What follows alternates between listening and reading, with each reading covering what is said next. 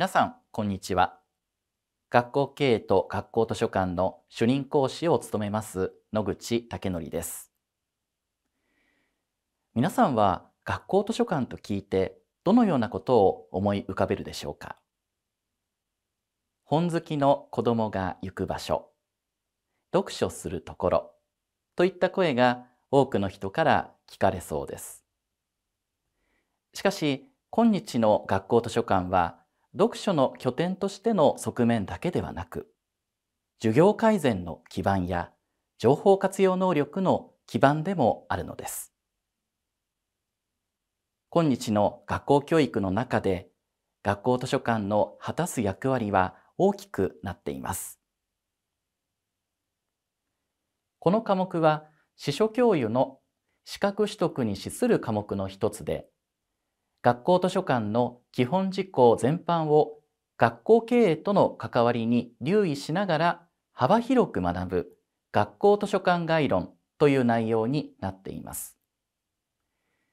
全15回からなるこの科目を履修することで学校図書館の全体像をつかむことができます。この科目では印刷教材がありますので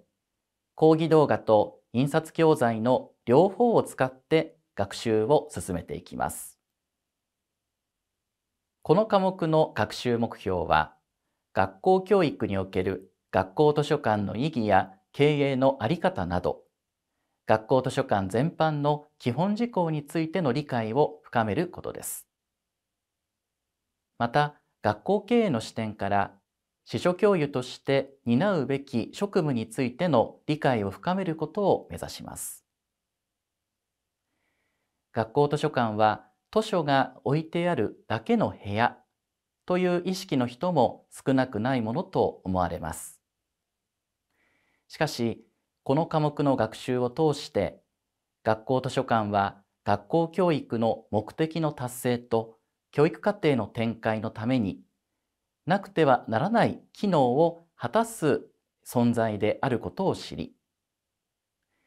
学校図書館に対するこれまでのイメージをぜひ刷新してほしいと思います。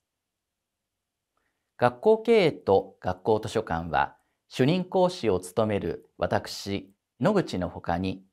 次の講師陣で担当します。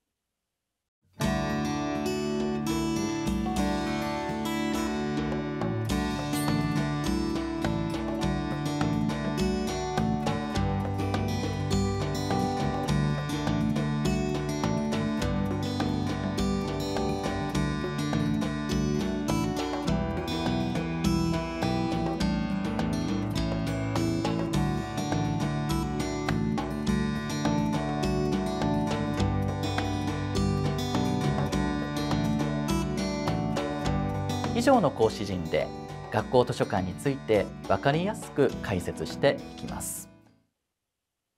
さて、この科目の各回の概要をご紹介しましょう。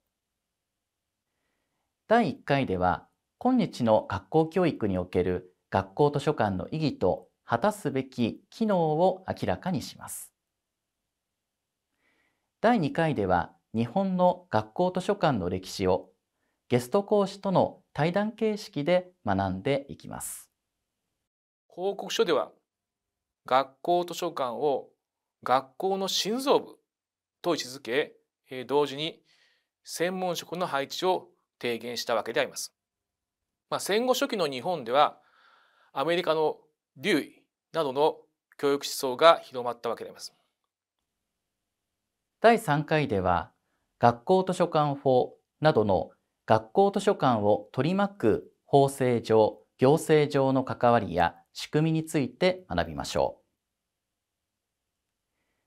第4回では、学校の教育課程、教育方法と学校図書館との関わりについて明らかにします。第5回から第7回では、学校図書館の経営の体制やあり方、より良い経営のために欠かせない評価のあり方や方法を学びます。第8回と第9回では、学校図書館に欠かせない施設設備とメディア情報資源を取り上げ、整備充実のポイントを示します。第10回では、学校図書館が児童生徒や教職員に対して提供するサービスと活動について説明をし、第11回から第13回はサービスと活動の具体的な事例を紹介します。第11回は小学校、第12回は中学校と高等学校、第13回は特別支援学校の事例を取り上げます。最初に佃小学校の特徴をご紹介ください。図書室、調べる学習室、佃歴史館をまとめて学校図書館と呼んでいます。4類、9類、絵本を蔵書している図書室、それ以外の類の図書やファイル資料を揃えた調べる学習室、開校からの歴史について資料を掲示するつくど歴史館からなります。子供たちにとって居心地の良い場を提供しています。第14回では学校図書館同士、さらには他の図書館との協力やネットワーク構築の意義を説明した上で、その具体的な事例として、島根県海士町の島丸ごと図書館の取り組みなどを紹介します。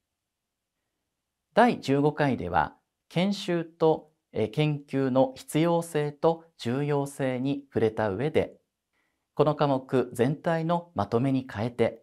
学校図書館の今後を展望します。私たち講師と一緒に学校図書館の魅力、そしてこれからの学校教育に果たす学校図書館の大きな可能性を探っていきましょう。皆さんの受講をお待ちしています。